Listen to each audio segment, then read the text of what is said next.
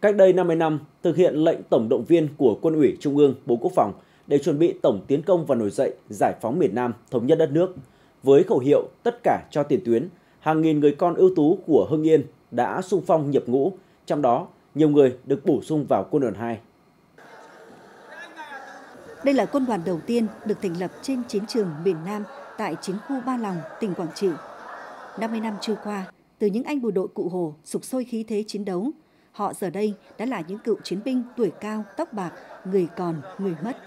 Song được gặp lại nhau, ký ức về một thời hoa lửa, oanh liệt hào hùng nơi chiến trường dường như lại ùa về vẹn nguyên trong tâm trí mỗi cựu chiến binh. Khi mà chúng tôi vừa mới nhập ngũ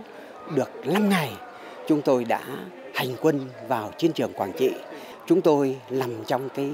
cái mũi tấn công à, chủ lực đánh vào dinh độc lập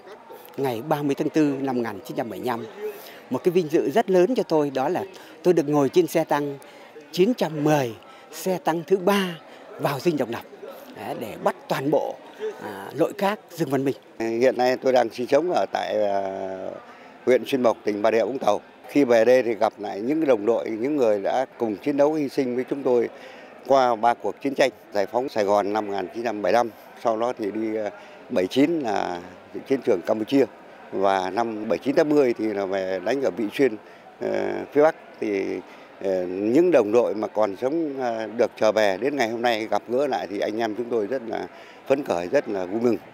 Sau khi thành lập, quân đoàn 2 còn gọi là binh đoàn Hương Giang đã mở các cuộc tiến công đầu tiên thắng lợi ở Thượng Đức, La Sơn, Mỏ Tàu, mở rộng các vùng giải phóng. Trong chiến dịch Hồ Chí Minh lịch sử, Quân đoàn 2 tổ chức đội hình chiến đấu có lực lượng đột kích mạnh gồm xe tăng, pháo binh, pháo phòng không và bộ binh cùng với quân và dân vùng Đông và Đông Nam Sài Gòn tiến công dũng mãnh, đánh chiếm nhiều mục tiêu quan trọng như dinh độc lập, phủ Tổng thống chính quyền Sài Gòn,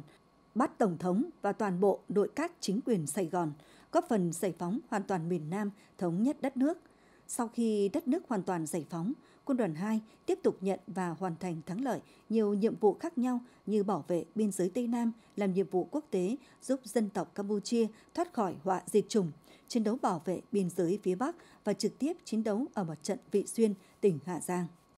Quân đoàn đã lập được rất nhiều thành tích. Các đồng chí đã hy sinh xương máu, công sức, góp lên truyền thống vẻ vang thần tốc táo bạo quyết thắng của quân đoàn 2. Cuộc gặp mặt này còn có ý nghĩa kết nối lại tình đồng đội, duy trì các cái hoạt động như đền ơn đáp nghĩa, rồi uh, giúp đỡ lẫn nhau trong uh, cuộc sống. Trở về với đời thường, các cựu chiến binh quân đoàn 2 anh hùng quê hương Yên vẫn cùng nhau giữ vững bản chất tốt đẹp của người chiến sĩ bộ đội Cụ Hồ. Buổi gặp mặt của hơn 286 cựu chiến binh nhân kỷ niệm 50 năm nhập ngũ tháng 10 năm 1974 diễn ra trong không khí xúc động, ấm tình đồng đội, là dịp ý nghĩa để các cựu chiến binh thăm hỏi, động viên, kết nối tình bạn chiến đấu, tình đồng hương, đồng ngũ một thời gian khó có nhau.